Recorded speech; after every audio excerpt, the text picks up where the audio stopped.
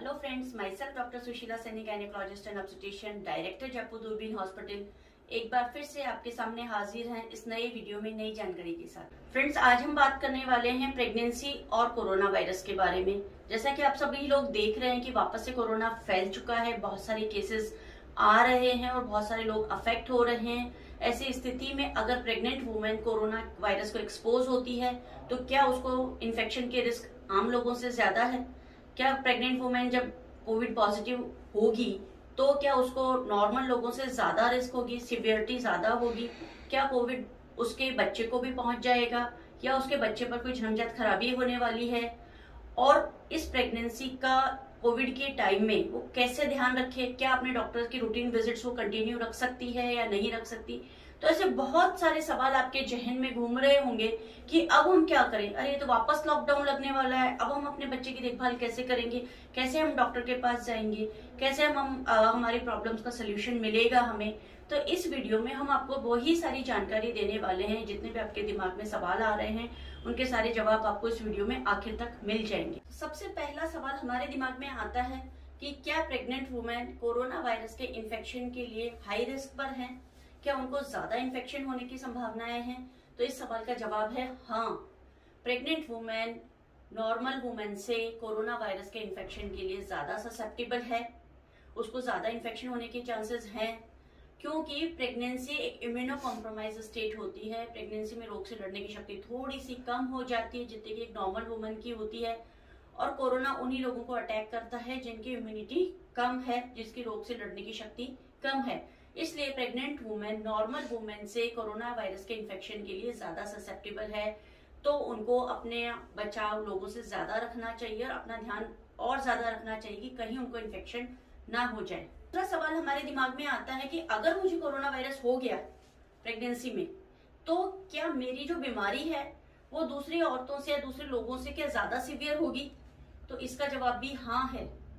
हाँ आपको अगर प्रेगनेंसी में कोरोना वायरस हो जाता है इन्फेक्शन हो जाता है तो हो सकता है कि आपकी उसकी डिज़ीज़ की सिवियरिटी नॉर्मल इंसान से ज़्यादा हो।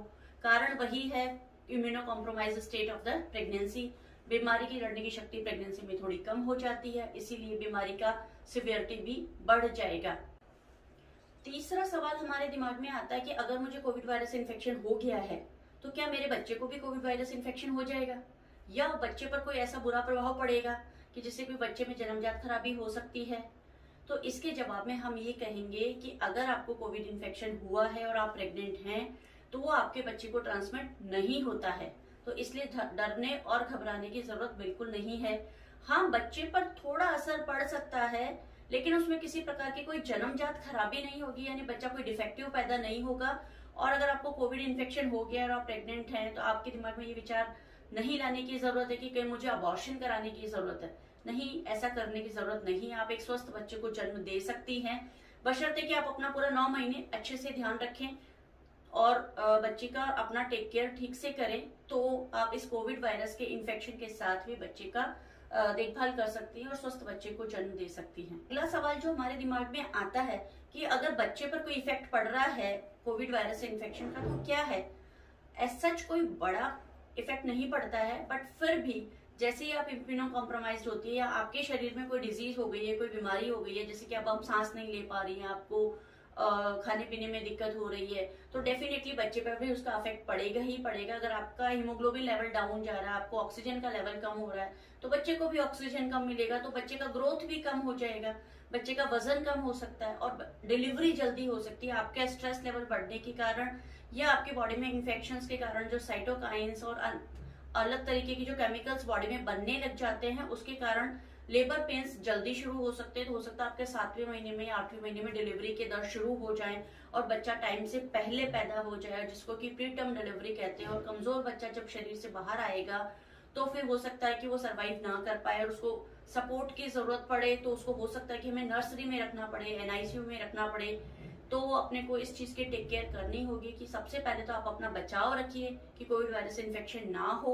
अगर हो जाता है तो आप डॉक्टर की सलाह के साथ अपनी प्रेगनेंसी कैरी ऑन कीजिए और अपनी डिलीवरी एक ऐसे संस्था में, ऐसे इंस्टीट्यूट में, ऐसे हॉस्पिटल में कराए जहाँ पे एनआईसीयू की फैसिलिटी हो, ताकि अगर बच्चा जन्म जन्म से पूर्व भी पैदा हो रहा है तो उसका देखभाल की जा सके। आपके दिमाग में अगला जो सवाल आता है कि अगर मेरी प्रेगनेंसी चल रही है तो मेरा क्या हॉस्पिटल जाना सेफ़ है डॉक्टर को दिखाने के लिए? क्या मैं डॉक्टर से कंसल्ट करने के लिए हॉस्पिटल विजिट्स कर सकती हूँ? तो हाँ बिल्कुल आप कर सकती हैं, लेकिन आप ये कर सकती हैं कि अगर कुछ ऐसा इमरजेंसी नहीं है तो आप अपने डॉक्टर से ऑनलाइन कंसल्टेशन ले सकती हैं वीडियो कॉलिंग के थ्रू भी कंसल्टेशन ले सकती हैं, जिसमें आप अपना बीपी वज़न घर पर देखकर डॉक्टर को बता दें। और अगर आपको आ, कुछ छोटी मोटी क्वेरीज हैं जो भी हैं तो डॉक्टर आपको ऑनलाइन भी समझा सकते हैं बता सकते हैं। और फिर जब आपके डॉक्टर बोलते हैं कि नहीं आपको महीने में या दो महीने में तो एक बार चेकअप के लिए आना है जिसमें भी बच्चे की धड़कन वगैरह चेक करते हैं बच्चे की ग्रोथ चेक करते हैं तो आप अपॉइंटमेंट फिक्स करके जाइए ताकि आपको वेटिंग में ना बैठना पड़े और आप तुरंत जाके कम से कम समय में डॉक्टर से मिलकर तुरंत वापस आ सके। क्योंकि जितना भी आप पब्लिक एरिया में एक्सपोज होती हैं, उतनी ही कोविड वायरस इन्फेक्शन होने के चांसेस बढ़ जाते हैं। इसलिए प्रायर अपॉइंटमेंट लेकर डॉक्टर से बात करके फिर ही आप हॉस्पिटल जाइए और अपने बच्चे की देखभाल को कैरी ऑन कीजिए। प्रेगनेंसी के दौरान जो भी नॉर्मल टेक केयर करनी होती है, वो आपको ज़रूर करनी है। जो डॉक्टर आपको प्रिस्क्रिप्शन में मेडिसिन लिख कर देते हैं, वो आपके पास ज़रूर होनी चाहिए। और इमरजेंसी मेडिसिन का भी बैकअप आप अपने पास ज़रूर रखिए कि हो सकता है लॉकडाउन की सिचुएशन में एकदम से आपको कोई मेडिसिन अवेलेबल ना हो पाए। तो एटलीस्ट आप 30 डेज़ की मेडिसिन इन एडवांस अपने घर पर स्टॉक में रखिए, ताकि आपकी मेडिसिन का बीच में कोई ब्रेक ना लगे। और अगर आपकी फ्लू की वैक्सीन कोई नहीं लगी है, जो कि प्रेगनेंसी में लगाई जाती है इन्फ्लुएंजा फ्लू की वैक्सीन लगती है, वो आप ज़रूर लगवा लीजिए, क्योंकि हो सकता है कि वो भी क्रॉस प्रोटेक्शन में काम आ जाए। इसके अलावा टी डैप और लगता है, जो टेटनस का वैक्सीन है, उसका भी एक वेरिएंट आ गया है टी डैप बोलते हैं, जिसमें टेटनस और डेप्थेरिया फर्ट्यूसिस वो भी कवर्ड है। तो वो वैक्सीन भी आप ज़रूर ले लीजिए। तो आप अपने आप का वैक्सीनेशन कंप्लीट रखिए, और उसके बाद अपने डॉक्टर के सलाह के साथ जब भी अपॉइंटमेंट फिक्स होता है, तब आप जाकर दिखा सकते हैं और मेडिसिन टाइम टू टाइम लीजिए। एक बहुत ही कॉमन सवाल रहता है कि हम घर पर ऐसा क्या कर सकते हैं जिससे कि हमारी इम्यूनिटी बूस्टर हो जाए कोरोना वायरस का इन्फेक्शन ना हो और हमारे बच्चे का और हमारी प्रेगनेंसी का ग्रोथ भी ठीक से होता रहे। तो सबसे इम्पोर्टेंट चीज़ है कि कीप हाइड्रेटेड योर सेल्फ यानी कि दिन में चार से पाँच लीटर पानी आप ज़रूर पी लीजिए। जितना भी पानी आप पीते रहेंगे तो अपने बॉडी के टॉक्सिन्स बाहर निकलते रहेंगे, बच्चे में, आपके शरीर में पानी की कमी नहीं होगी। दूसरा इंपॉर्टेंट चीज़ है कि अपने आप को भूखा ना रखिए। हर दो घंटे में कुछ ना कुछ आपको ज़रूर खाना है। उसमें जो भी आपको अच्छा लगता है वो खा सकते हैं। जो भी सीजनल अभी नॉर्मल जो मार्केट में अवेलेबल है वही खाना है पैकेज फ़ूड नहीं खाना है प्रिजर्वेटिव एडेड फ़ूड नहीं खाना है। ताज़ा बना हुआ घर का खाना खाना है और आप उसमें बहुत सारे एक्सपेरिमेंट कर सकती हैं। इसके अलावा फ्रूट्स ली और आप सीजनल फ्रूट्स एड ऑन कर सकती हैं, जो कि अभी मार्केट में अवेलेबल हैं, जिसमें कि आंवला आप अच्छे से ले लीजिए, अमरूद ले सकती हैं, आम ले सकती हैं, तरबूज ले सकती हैं, खरबूजा ले सकती हैं, जो कि अभी आराम से मार्केट में अवेलेबल है, एप्पल अभी आ रहे हैं, अनार आ रहा है। तो ये सारी चीज़ें आप आराम से खाइए और अपनी इम्यूनिटी स्ट्रॉन्ग कीजिए। इसके अलावा जो आपको सबसे इम्पोर्टेंट ध्यान रखना है कि आपको घर पे ही रहना है अननेसेसरी बाहर विजिट्स नहीं करनी है क्राउडेड प्लेस से दूर रहना है। अगर आप बाहर जाती हैं तो मास्क लगा के जाइए और मास्क जब भी लगाती है तो मास्क को अननेसेसरी हाथों से टच ना कीजिए। और अगर आपको आ, मास्क हटाने के बाद भी अगर अपने आ, जो हाथ हैं उनको मुँह पे टच नहीं करना है इसके अलावा जब भी आपको खांसी या छींक आती है तो आप अपना कोहनी का इस्तेमाल कीजिए हाथों का इस्तेमाल ना कीजिए। और इसके अलावा जब भी आपको लगता है कि आपने कहीं टच किया है तो बार बार अपने हाथ धोते रहिए हाथ धोने के लिए साबुन का इस्तेमाल कीजिए। कम से कम 20 सेकंड तक रगड़ के हाथ धोने हैं और अल्कोहल बेस्ड सैनिटाइजर आप यूज़ कर सकती हैं बट अगर आप किचन में काम करती हैं तो आपको अल्कोहल बेस्ड सैनिटाइजर नहीं यूज़ करना है, हाथों में आग लग सकती है, बहुत बड़ा रिस्क है। आपको अल्कोहल से अल्कोहल बेस्ड सैनिटाइजर से दूर रहना किचन में काम करते वक्त, उसको किचन में नहीं रखना है। अब आपका, अगर कोविड वायरस इन्फेक्शन से आपने अपना बचाव रखा है, और आप अभी तक कोविड नेगेटिव हैं, और आपको लेबर पेन शुरू हो गए हैं तो आप एक ऐसा हॉस्पिटल चुन सकती है जो कोविड नेगेटिव वायरस या कोविड नेगेटिव मदर्स की डिलीवरी कराई जाती है। जहाँ की आप अपने और अपने बच्चे को सुरक्षित रूप से जन्म दे सकें और कोविड इन्फेक्शन लेके ना आए।